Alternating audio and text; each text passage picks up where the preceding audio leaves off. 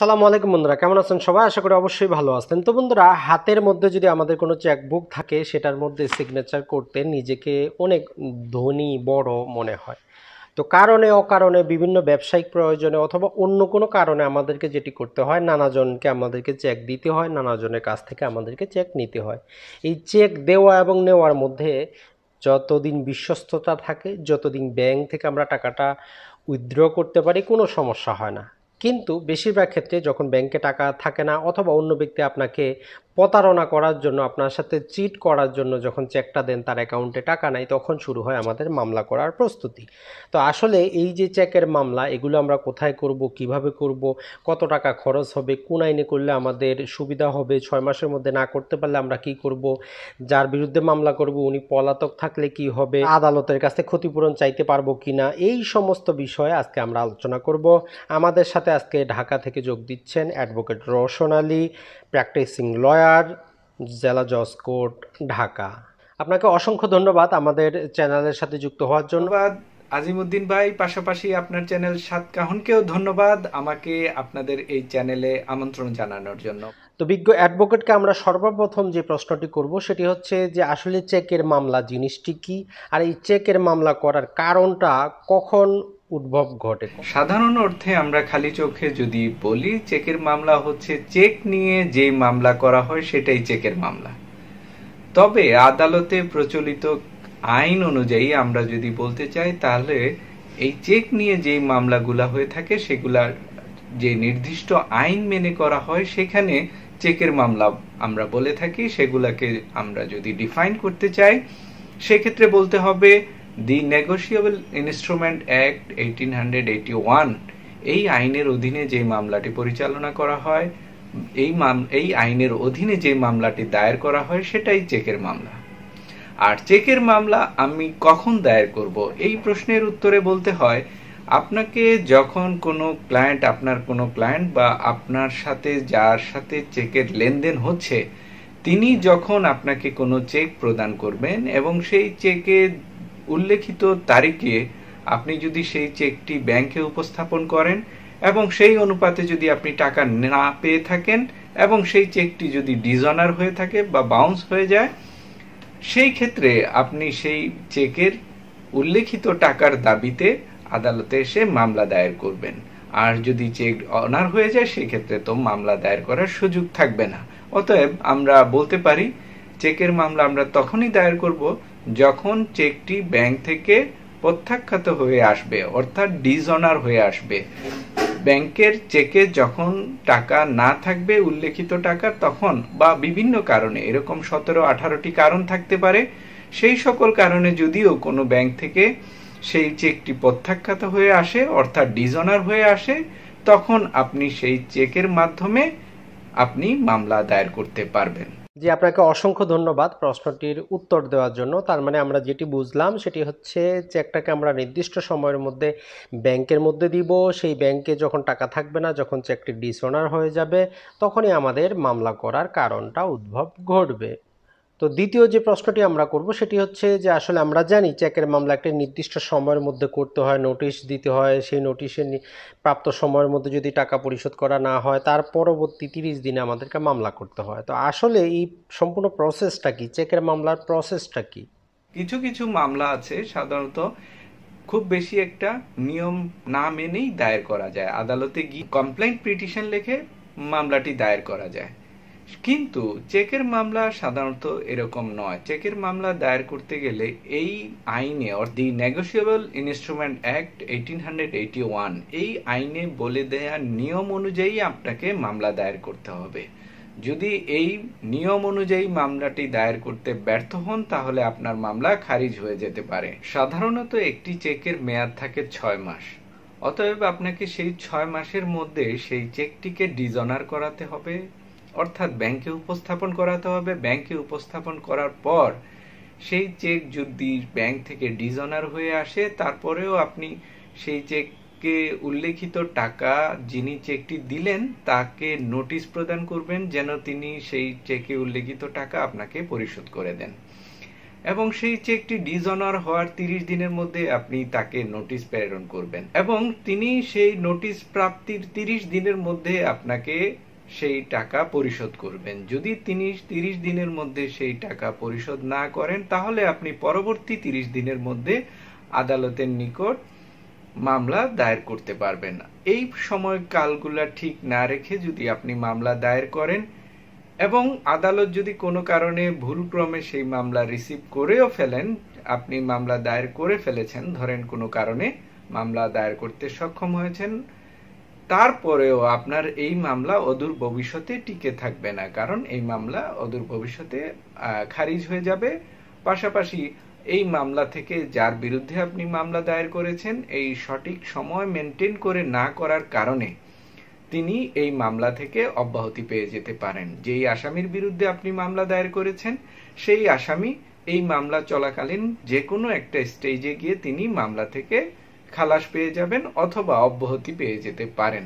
তাই এই মামলা দায়েরের ক্ষেত্রে, বিশেষ করে এনআই অ্যাক্টের মামলা দায়ের করার ক্ষেত্রে বা চেকের মামলা দায়ের করার ক্ষেত্রে নির্দিষ্ট প্রসিডিউর, প্রসেস মেনটেন করে মামলা দায়ের করতে হবে এবং যেই টাইম ফ্রেমগুলো আইনে বলে দেয়া আছে, সেই টাইম ফ্রেমগুলো অবশ্যই আপনি মেনটেন করে মামলা দায়ের করবেন।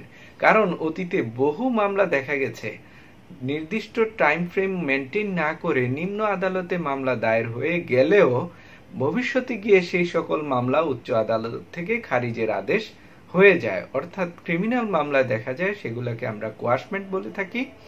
উচ্চ আদালত থেকে কোয়াস্ট হয়ে সেগুলা চলে আসে। অর্থাৎ মামলাটা এক রকমের খারিজ হয়ে যায়।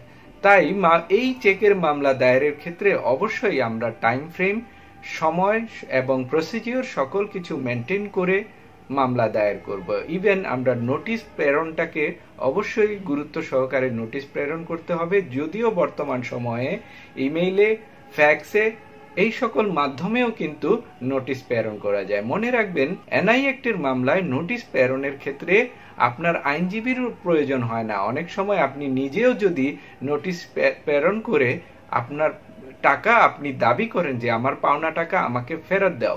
মনে রাখবেন এনআই অ্যাক্টের অধীনে, অর্থাৎ আপনার চেকে উল্লিখিত টাকা পরিশোধের জন্য যে নোটিশ প্রেরণ করা হয়, সেটা যদি আপনার আইনজীবীর মাধ্যমে আপনি প্রেরণ নাও করেন, আপনি নিজ উদ্যোগে যদি কোনো একটি নোটিশ প্রেরণ করেন, কোনো লিখিত ডকুমেন্টের মাধ্যমে, সেটাও কিন্তু নোটিশ আকারে কাউন্ট হয়ে যায়। তাই আপনি যদি নিজেও কোনো নোটিশ প্রেরণ করেন, যার চেক ডিজনার হয়েছে তার বরাবরে আপনার টাকা পরিশোধের জন্য সেটাও কিন্তু আইনগত নোটিশ হিসাবে পরিগণিত হবে এবং সেই নোটিশের মাধ্যমে পরবর্তীতে আপনি আইনজীবীর সহযোগিতা নিয়ে এই মামলা দায়ের করতে পারবেন।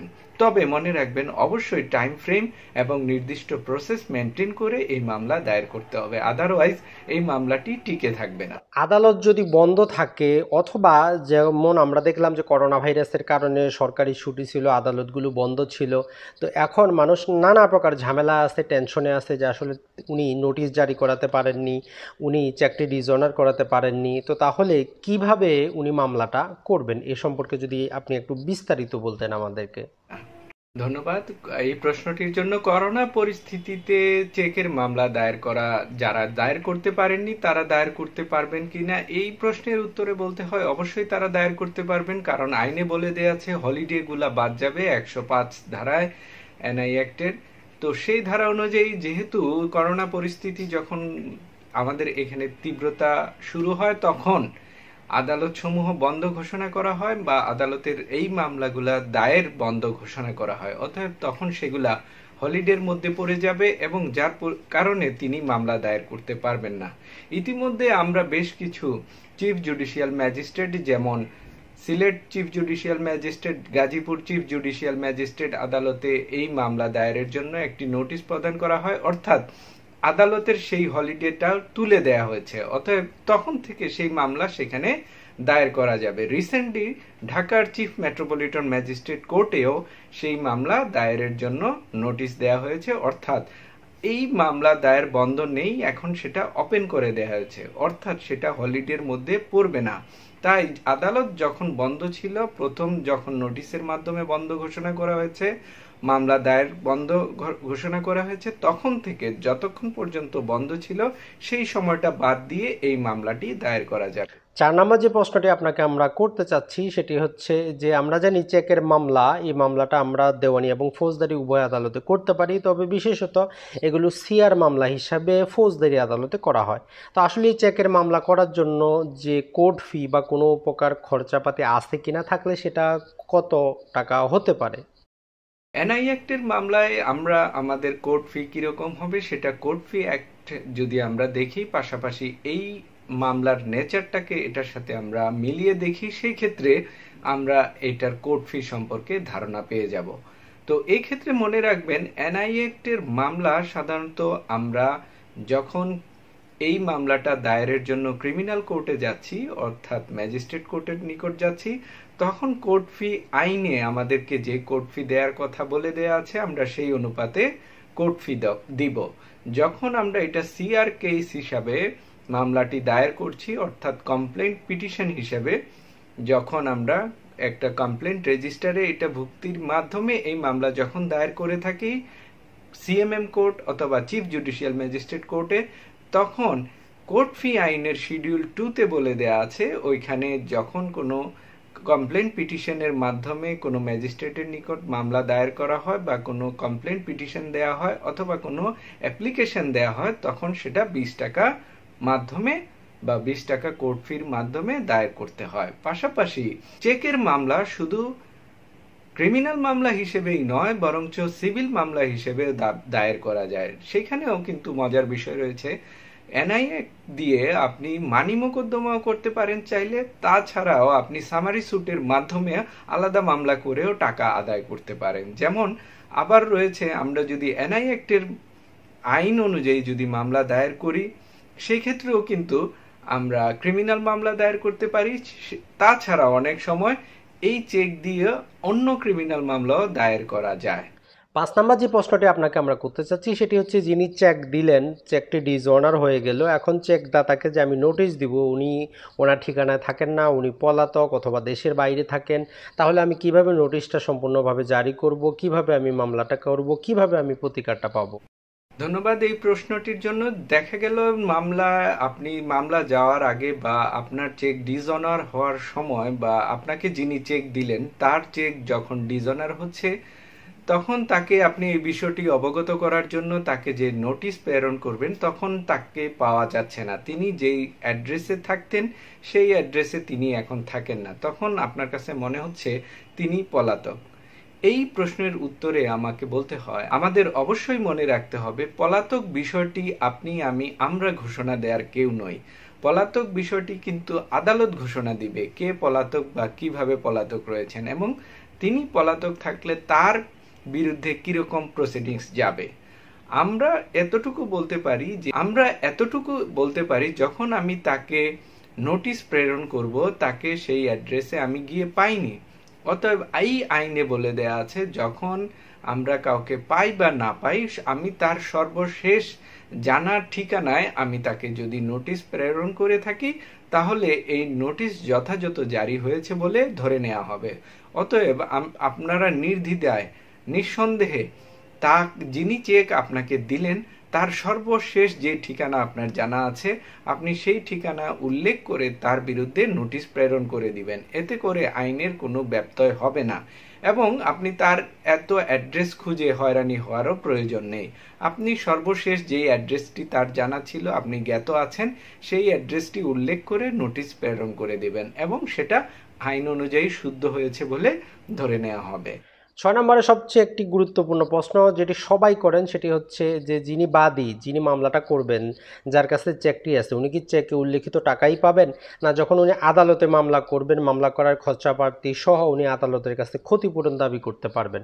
অর্থাৎ চেকে উল্লেখিত টাকাই পাবেন, না এর সাথে আনুষঙ্গিক কিছু প্রতিকার উনি চাইতে পারবেন। বলতে হয়, আমরা যদি এনআই অ্যাক্টের একশো আটত্রিশ ধারাটি পড়ি, এই ধারাতেই বলে দেয়া আছে, এই ধারার উপধারা তিন, দুই এই ধারাগুলা যদি আমরা পড়ি, দুই উপধারা একশো আটত্রিশ ধারার দুই উপধারা এবং তিন উপধারা, এখানে বলে দেয়া আছে যে চেকের ফেস ভ্যালু যা থাকবে, সেই টাকাটি চেক হোল্ডার মানে যাকে চেকটি দেওয়া হয়েছিল, অর্থাৎ যিনি এই মামলার বাদী, তার বরাবরে এই টাকাটা তাকে দেওয়া হবে। অর্থাৎ যেহেতু আইনে বলে দেয়া আছে, যিনি বাদী হবেন, তিনি কত টাকা পাবেন, অর্থাৎ চেকে উল্লেখিত যে টাকা রয়েছে, সেই টাকাটি তিনি পাবেন। বাকি টাকা সরকারের কোষাগারে চলে যাবে এবং আদি এমনকি তিনি যে মামলা করলেন, মামলা পরিচালনা করলেন, আইনজীবীকে টাকা প্রদান করলেন, অন্যান্য যেই খরচ তিনি করলেন, সেই সকল খরচের কথা যেহেতু আইনে বলে দেয়া নাই, সেহেতু রায়েও তিনি এই সকল উল্লেখ করে রায়গুলা হয় না।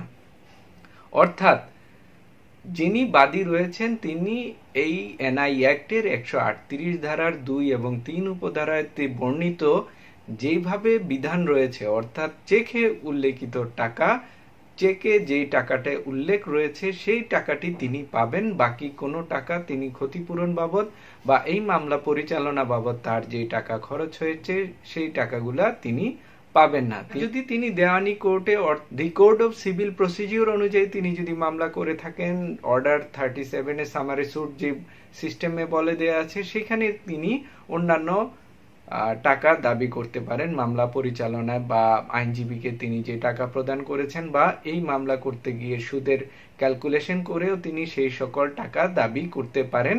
যদি তিনি the code of civil procedure অনুযায়ী এই মামলা সামারি সুট আকারে দায়ের করেন। মনে রাখবেন সামারি সুট এবং মানি মোকদ্দমা এক বিষয় নয়।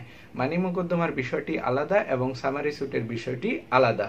যদি তিনি সামারি সুটের মাধ্যমে মামলা দায়ের করে থাকেন, তাহলে তিনি অন্যান্য ক্ষতিপূরণও সেখানে চাইতে পারেন।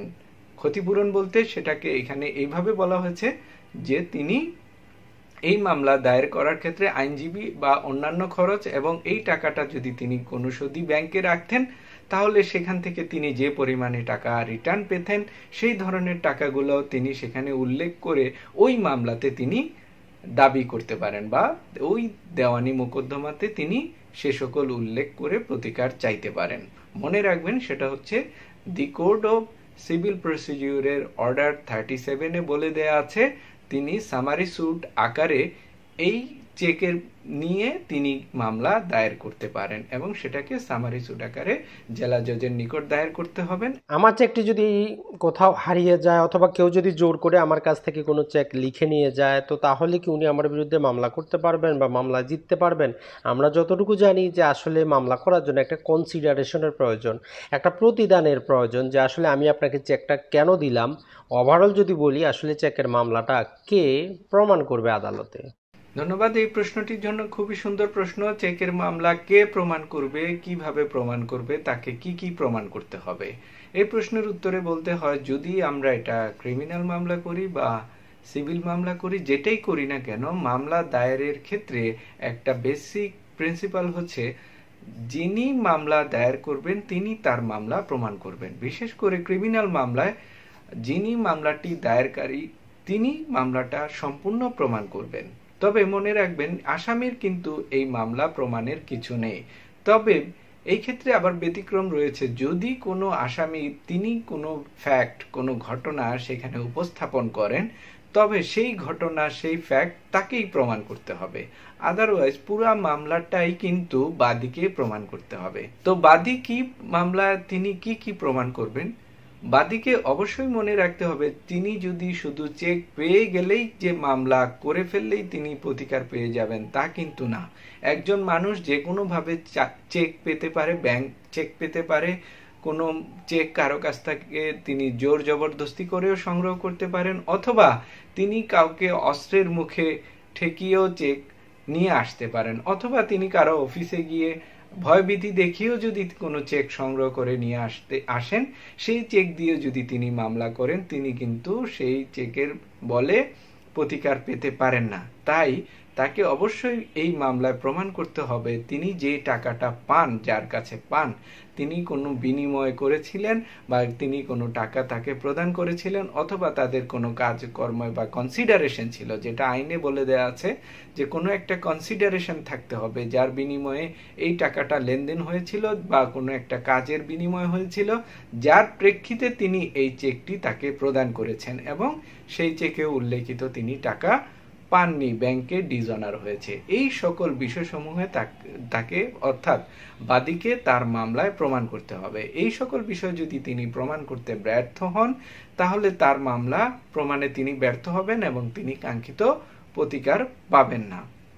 এবং তিনি এই সকল প্রমাণের ক্ষেত্রে তিনি সাক্ষী ডকুমেন্টারি এভিডেন্স ওরাল এভিডেন্স অন্যান্য সাক্ষী সাক্ষ্য সমূহ উপস্থাপনের মাধ্যমে কিন্তু তাকে এই মামলা প্রমাণ করতে হবে। তিনি যদি কোনো লেনদেন করে থাকেন, সেই সময় কারা উপস্থিত ছিলেন, কীভাবে ছিলেন, অথবা যদি উপস্থিত নাও থাকেন, তার যদি কোনো ব্যবসায়ী ট্রানজ্যাকশন হয়ে থাকে, তাহলে তার তার সাথে তার পূর্বের থেকে ব্যবসা চলে আসছে।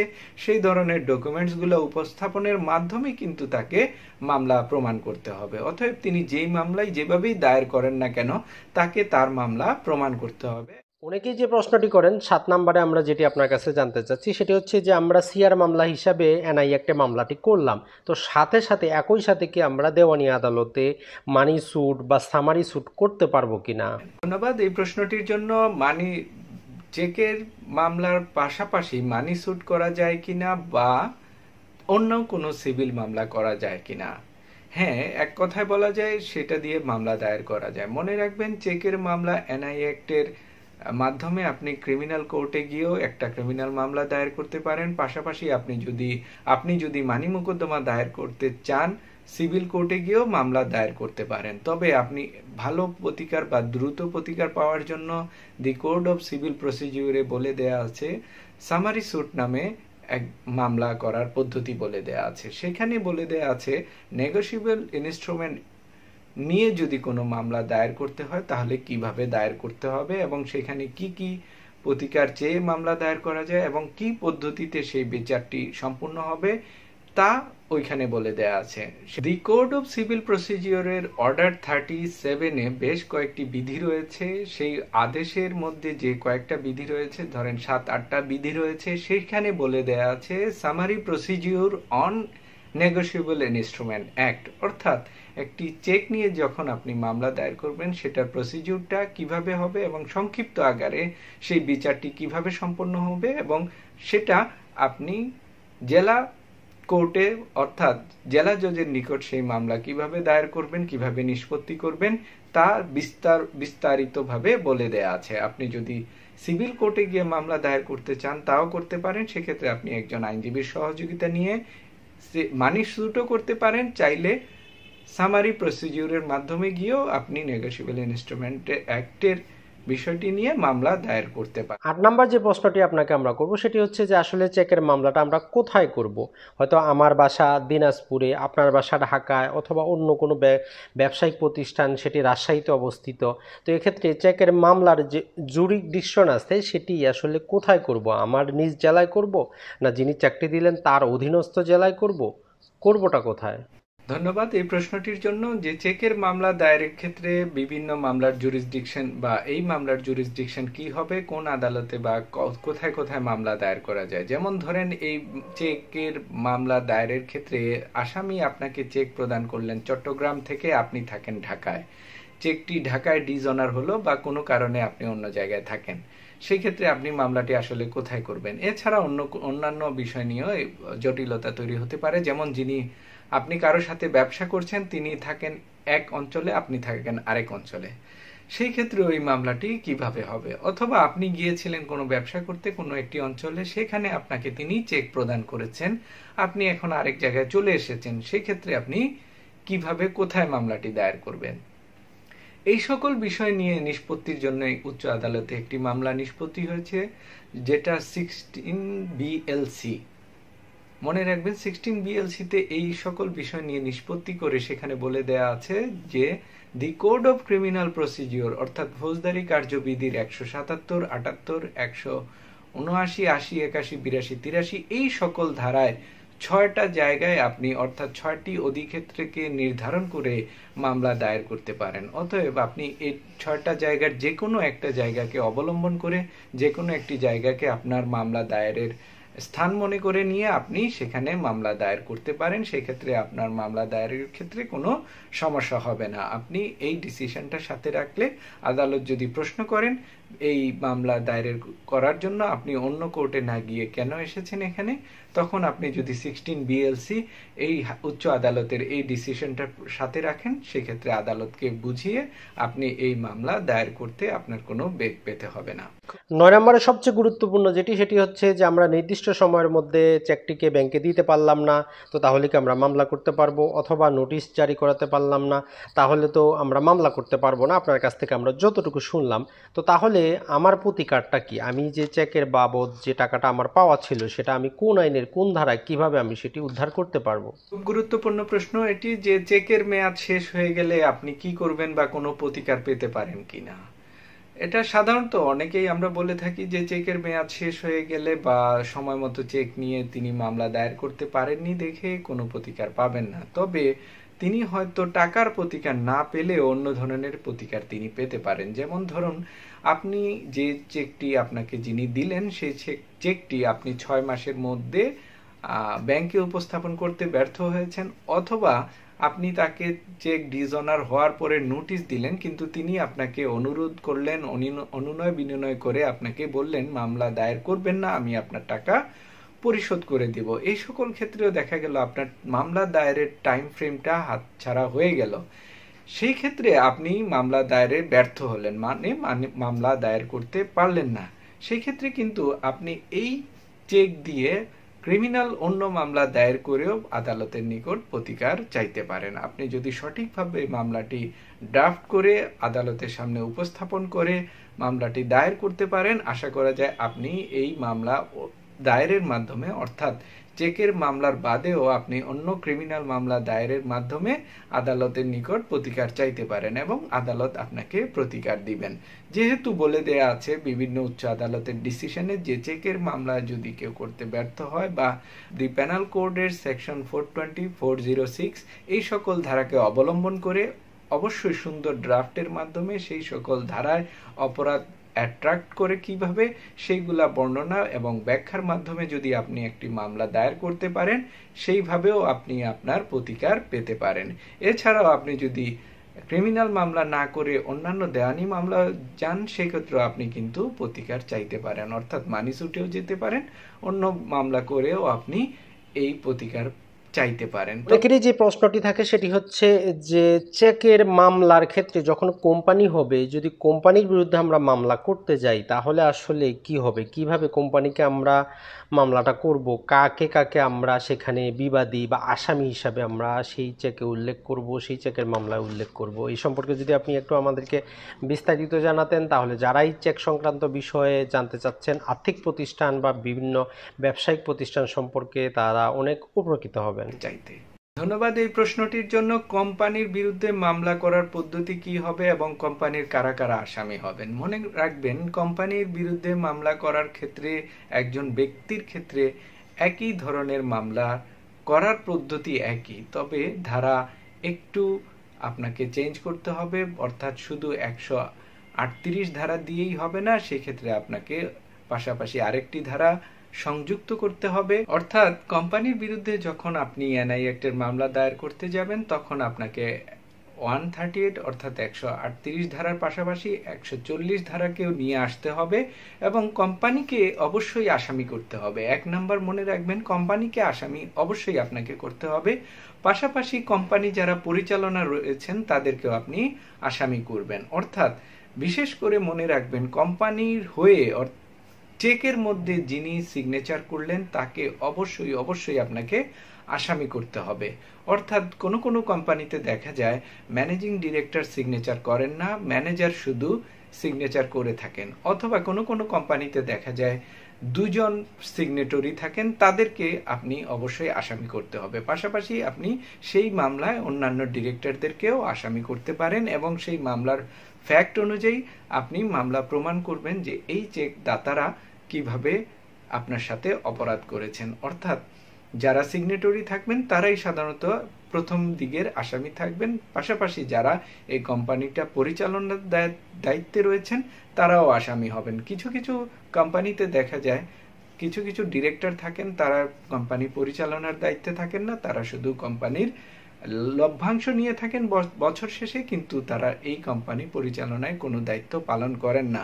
সেগুলো সাধারণত এই কেস টু কেস ভেরি করে এবং সেটা মামলা প্রমাণের ক্ষেত্রে সাধারণত বেরিয়ে আসে যে এই চেক প্রদানের ক্ষেত্রে মূলত কারা দায়ী এবং কারা এই চেকের লাইবিলিটি নেবেন। এবং সর্বশেষ হচ্ছে কোম্পানিকে অবশ্যই এই চেকের লাইবিলিটি নিয়ে এই চেকে উল্লেখিত টাকা পরিশোধ করতে হবে এবং যারা এই চেক প্রদানের ক্ষেত্রে দায়িত্বরত ছিলেন, তারা এর জন্য দায়ী থাকবেন। এবং মনে রাখবেন আরেকটি গুরুত্বপূর্ণ বিষয়, অনেক ক্ষেত্রে যদি কোনো ম্যানেজিং ডিরেক্টর অথবা ম্যানেজার অথবা অন্য কেউ কোম্পানি পরিচালনার সময় তিনি সেই কোম্পানিতে দায়িত্বরত ছিলেন এবং তিনি একটি চেক ইস্যু করেছিলেন এবং সেই চেকে তিনি সিগনেচার করে আসছেন এবং কিছুদিন পর তিনি সেই কোম্পানি থেকে অব্যাহতি নিলেন, অথবা তিনি তার শেয়ার বিক্রি করে অথবা তিনি তার শেয়ার সমূহ ট্রান্সফার করে সেই কোম্পানি থেকে বেরিয়ে আসলেন। তিনি বেরিয়ে আসার পর দেখা গেল ওই চেকটি ডিজনার হয়েছে। তখন কি তিনি এই দায়িত্ব থেকে অব্যাহতি পাবেন? মনে রাখবেন, এই ধরনের মামলা ইন্ডিয়াতে এর আগে হয়েছিল এবং সেখানের উচ্চ আদালতের সিদ্ধান্ত হচ্ছে, যদি কোম্পানি পরিচালনার সময় কোনো ডিরেক্টর দায়িত্বরত থাকেন এবং পরবর্তীতে তিনি যদি সেখান থেকে বেরিয়েও আসেন, তাহলেও তাকে সেই চেকের জন্য জবাবদিহি করতে হবে এবং তিনি সেখানে আসামি হয়ে যাবেন। অর্থাৎ কেউ যদি চালাকি করেও আপনাকে চেক প্রদান করে, পরবর্তীতে তিনি সেই কোম্পানি থেকে বেরিয়ে যান, তাহলেও তিনি সেই অপরাধে অপরাধী হবেন। দশ নম্বরে যে প্রশ্নটি আমরা করব, সেটি হচ্ছে যদি যিনি মামলা করলেন, বাদী অথবা বিবাদী, এরা যদি মারা যান, তো আসলে চেকের মামলাটা কি খারিজ হয়ে যাবে, বাতিল হয়ে যাবে? না, এক্ষেত্রে তার লিগাল যে রিপ্রেজেন্টেটিভ থাকবে, তারা সেখানে স্থলাভিষিক্ত হবে, সেটা হোক বাদী, সেটা হোক বিবাদী। খুব সুন্দর প্রশ্ন যে চেকের মামলা দায়েরের পর যদি বাদী মারা যান সেই ক্ষেত্রে কি হবে? এই প্রশ্নের উত্তরে বলতে হয় আমাদের পার্শ্ববর্তী দেশ, অর্থাৎ ভারতের কয়েকটি ডিসিশন আমরা যদি দেখি, অর্থাৎ ভারতের অল ইন্ডিয়া রিপোর্টের বেশ রিপোর্টেড কেস রয়েছে। যেগুলো যদি আমরা দেখি, এবং মাদ্রাজ কোর্টের, মাদ্রাজ হাইকোর্টেও একটি মামলা হয়েছিল এরকম যে, বাদী মামলা দায়ের করার পর তিনি মারা গেলেন। তারপর তার মামলাটার কি হবে?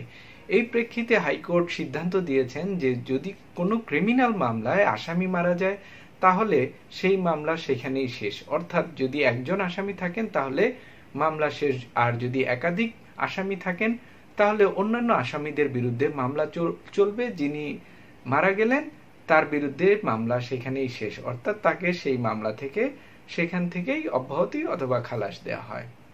এখন, চেকের মামলার ক্ষেত্রে বলা হয়েছে, সেই সকল রায়ে, অর্থাৎ মাদ্রাজ হাইকোর্টের অবজারভেশন হচ্ছে, অন্যান্য কেস ল রিপোর্টে এরকম এসেছে, যদি চেকের মামলায় মামলা দায়ের করার পর বাদী মারা গেলেন, সেক্ষেত্রে এই মামলাটি নষ্ট হবে না। অর্থাৎ এই মামলাটা তার আসামির বিরুদ্ধে মামলা পরিচালনা করা যাবে এবং বাদী যিনি রয়েছেন, তার উত্তরাধিকাররা সেই মামলায় সংযুক্ত হয়েও সেই মামলা পরিচালনা করে মামলাটি নিষ্পত্তি করতে পারেন। এক্ষেত্রে কোনো সমস্যা হবে না। আমি চেকের মামলা করলাম আমার পক্ষে আমি ডিগ্রি রায় পেয়ে গেলাম। এখন আমি যার কাছ থেকে টাকাটা উদ্ধার করব উনি যদি পলাতক থাকেন ওনাকে যদি না পাওয়া যায় তো তাহলে আমার টাকাটা আসলে কীভাবে আমি উদ্ধার করব বা আদালত আমাকে উদ্ধার করে দিবেন? এটাও খুব গুরুত্বপূর্ণ একটি প্রশ্ন যে মামলার রায় হয়ে গেছে, কিন্তু আসামি পলাতক রয়েছেন বা ইচ্ছাকৃতভাবে তিনি আইনের আওতায় না এসে নিজেকে বিভিন্ন জায়গায় লুকিয়ে রেখেছেন অথবা তিনি পলাতক হিসেবে রয়েছেন। মনে রাখবেন, একমাত্র বিদেশে যদি তিনি পালিয়ে যান, সেক্ষেত্রে আপনার জন্য কষ্টসাধ্য হবে তাকে আইনের আওতায় আনা। অথবা তিনি যদি বাংলাদেশের কোথাও থাকেন, তাহলে বর্তমান তথ্য ও প্রযুক্তি যুগে আসলে একজন ব্যক্তি পলাতক হিসাবে বেশিক্ষণ থাকার সুযোগ কম। সেই ক্ষেত্রে আপনি মনে রাখবেন, যদি মামলার রায় হয়ে যাওয়ার পর কোনো আসামি পলাতক থাকেন অথবা পলাতক থাকার চেষ্টা অব্যাহত রেখেছেন, অথবা তিনি গ্রেফতারি এড়ানোর জন্য কৌশলে বিভিন্ন জায়গায় পালিয়ে রয়েছেন, সেই ক্ষেত্রে আপনাকে কষ্ট করতে হবে।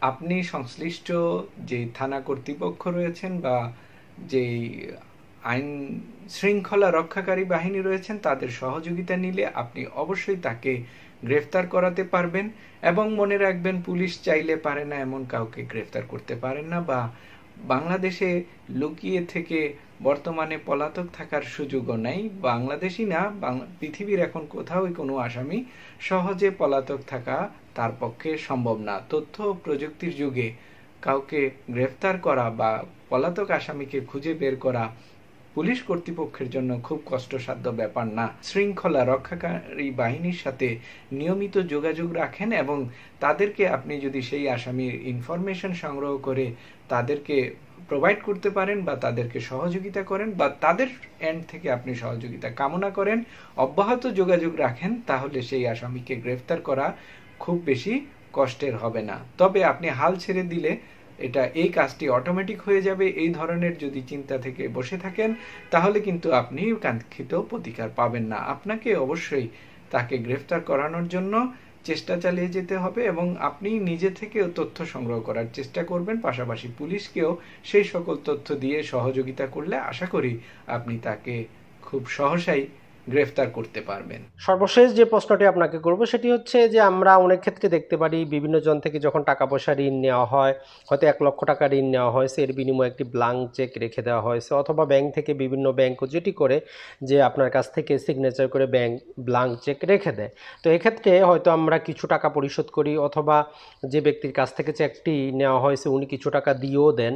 তো পরবর্তীতে যেহেতু এটি ব্লাঙ্ক চেক যার কাছে চেকটি আসছে উনি চেকে উল্লেখিত টাকা চাইতে বেশি পরিমাণ পরিমাণ টাকা সেখানে উল্লেখ করে মামলা দায়ের করেন।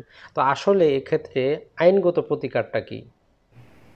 ধন্যবাদ এই প্রশ্নটির জন্য যে যদি আপনার কাছে ব্ল্যাঙ্ক চেক কেউ দিয়ে থাকে, অর্থাৎ খালি চেক দিয়ে থাকে, শুধু সিগনেচার করে আপনাকে একটি চেক দিয়ে দিল, সেই চেক দিয়ে আপনি প্রতিকার পাবেন কিনা। আপনি অবশ্যই সেই চেক দিয়ে প্রতিকার চাইতে পারেন আদালতের নিকট এবং আপনি যদি সঠিকভাবে মামলা দায়ের করেন, সুন্দর প্রসিজিওর মেনটেন করে মামলা দায়ের করেন, অবশ্যই আপনি ব্ল্যাঙ্ক চেক দিয়ে মামলা দায়ের করে প্রতিকার চাইতে পারেন। তবে ব্ল্যাঙ্ক চেক বলতে এখানে শুধু ব্ল্যাঙ্ক চেক নিয়ে গেলেই হবে না। আপনাকে সেই চেক যদি আপনি তার কাছে যেই টাকাটা পাও না, সেই টাকা বসিয়ে যদি আপনি ডিজনার করেন, তাহলে আশা করা যায় আপনি প্রতিকার পাবেন। অনেকে হয়তো ব্ল্যাঙ্ক চেক পেয়ে খুশি হয়ে তার কাছে পাওনা ছিল পাঁচ লক্ষ টাকা। তিনি সেখানে দশ লক্ষ টাকা উল্লেখ করে ডিজনার করিয়ে বেশি টাকার দাবিতে যদি তিনি মামলা করেন সেই ক্ষেত্রে বাদী তার মামলা প্রমাণে ব্যর্থ হয়ে যাবেন এবং তিনি তার মামলা প্রমাণ করতে যদি ব্যর্থ হন, তাহলে তিনি এই ব্ল্যাঙ্ক চেকের মাধ্যমে উপকার বা যেই প্রতিকার পাওয়ার কথা ছিল, তিনি সেই প্রতিকার পাওয়া থেকে ব্যর্থ হবেন। যদি আপনি তখন আপনি প্রমাণ করতে ব্যর্থ হবেন, তার সাথে আপনার নির্দিষ্ট কনসিডারেশন ছিল সেটা আপনি প্রমাণ করতে ব্যর্থ হবেন। আসামি তখন এসে প্রমাণ করবে যে তিনি আমার কাছে পাঁচ লক্ষ টাকা পান, বরঞ্চ তিনি প্রতারণার আশ্রয় নিয়ে আমি ব্ল্যাঙ্ক চেক দিয়েছিলাম। সেই চেকে তিনি পাঁচ লক্ষ টাকার পরিবর্তে দশ লক্ষ টাকা উল্লেখ করে সেই চেক ডিজনার করিয়ে সেই চেক দিয়ে আমার বিরুদ্ধে মামলা করেছেন, অতএব সেই মামলা চলতে পারে না। তাই ব্ল্যাঙ্ক চেক পেলেও আপনি আত্মহারা না হয়ে, খুশিতে আত্মহারা না হয়ে তার সাথে আপনার যে কনসিডারেশন হয়েছিল যে টাকার লেনদেন হয়েছিল যে চুক্তি হয়েছিল, সেই অনুপাতে যদি আপনি টাকা বসিয়ে ডিজনার করিয়ে মামলা দায়ের করেন, আশা করা যায় আপনি প্রতিকার পাবেন। তবে এর চেয়ে বেশি কিছু করতে যাবেন না, সেক্ষেত্রে আপনার মামলার ক্ষতি হয়ে যেতে পারে। অ্যাডভোকেট রওশন আলী আপনাকে অসংখ্য ধন্যবাদ আমাদের সাথে যুক্ত হওয়ার জন্য এবং চেক সংক্রান্ত বিষয়ে সাধারণ মানুষের মনে যে সমস্ত প্রশ্ন জাগে সেগুলোর উত্তর দেওয়ার জন্য আশা করি আপনি আপনার কর্মজীবনে উজ্জ্বল নক্ষত্র হিসাবে বাংলাদেশে প্রতিষ্ঠিত হবেন। সাথে সাথে আপনার যে ইউটিউব চ্যানেলটি আছে সেটারও আমরা সফলতা করি। আশা করি অবশ্যই যারা আমার চ্যানেলের দর্শক শ্রোতা আছেন তারা অবশ্যই আপনার চ্যানেলটিও সাবস্ক্রাইব করে রাখবেন এবং দেওয়ানি ফৌজদারি সংক্রান্ত নানা প্রকার অসংখ্য বিষয় বিষয় আছে, যেগুলো নিয়ে হয়তো আমার এখনও ভিডিও তৈরি করা সম্ভব হয়নি আপনি সেগুলো তৈরি করতে পারবেন এবং মানুষ উপকৃত হবে। পারে। ধন্যবাদ আজিমুদ্দিন ভাই। পাশাপাশি আপনার চ্যানেল সাত কাহনকেও ধন্যবাদ। আপনাদের এই প্রোগ্রামে আমাকে আমন্ত্রণ জানানোর জন্য এবং অনেকক্ষণ আপনাদের সাথে কথা বললাম। আমার নিজের ভালো লেগেছে। আশা করি আগামী কোনো একটা অনুষ্ঠানে আবারও দেখা হবে। সেই আশাবাদ ব্যক্ত করছি এবং আপনাদের দুই লক্ষ সাবস্ক্রাইবারের মাইল ফলক আপনারা স্পর্শ করেছেন। সেটা একটা বিশাল অর্জন, সকলদের জন্য একটা উৎসাহব্যঞ্জক কাজ এবং সকল দর্শকদের আপনারা আস্থা অর্জন করতে পেরেছেন, সেটা একটা বিশাল অর্জন এবং আশা করি আপনাদের ভিডিওগুলার কোয়ালিটি এইভাবেই মেনটেন করে যাবেন এবং দর্শকের আরও ভালোবাসা আপনারা পাবেন। আরও মানুষের কাছে পৌঁছে দেওয়ার জন্য গ্রাম থেকে গ্রামাঞ্চলে যেন এই চ্যানেল মানুষ দেখেন, সাতকাহনের আরও উত্তর উত্তর মঙ্গল কামনা করছি এবং আশা করি আগামী কোনো একটা অনুষ্ঠানে হয়তো বা আবার দেখা হবে। ধন্যবাদ সাতকাহন চ্যানেলকে। তো বন্ধুরা আপনাদেরকে অসংখ্য ধন্যবাদ চ্যানেলটির সাথে যুক্ত থাকার জন্য।